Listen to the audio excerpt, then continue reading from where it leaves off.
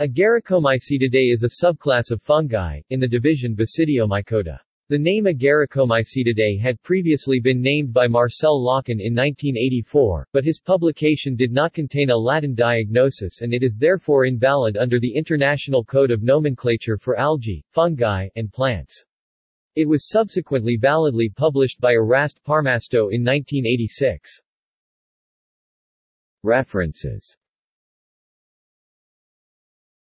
External links. Data related to Agaricomycetidae at Wikispecies. Media related to Agaricomycetidae at Wikimedia Commons. Systema Naturae 2000, Agaricomycetidae